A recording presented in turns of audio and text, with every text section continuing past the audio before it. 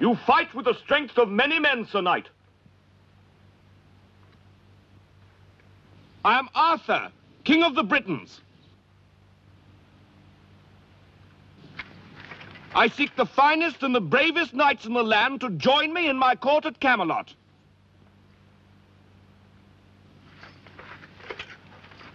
You have proved yourself worthy. Will you join me?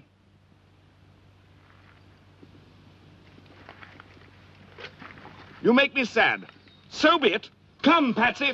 None shall pass. What? None shall pass.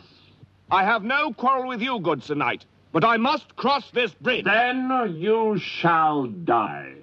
I command you, as King of the Britons, to stand aside. I move for no man. So be it.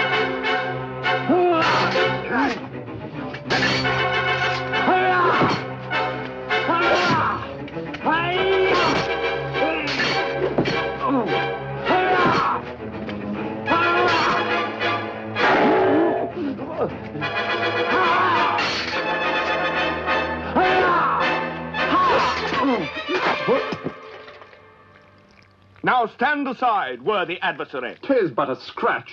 A scratch? Your arm's off. No, it isn't. Well, what's that then? I've heard worse. You liar. Come on, you pansy.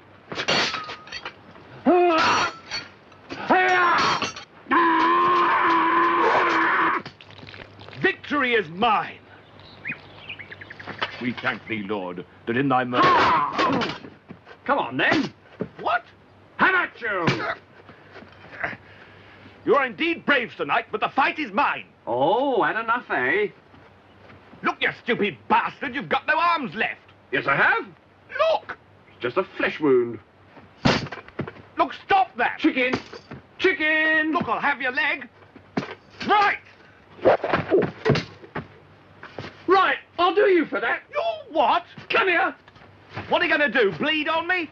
I'm invincible. You're a loony. The Black Knight always triumphs. How about you? Come on, then.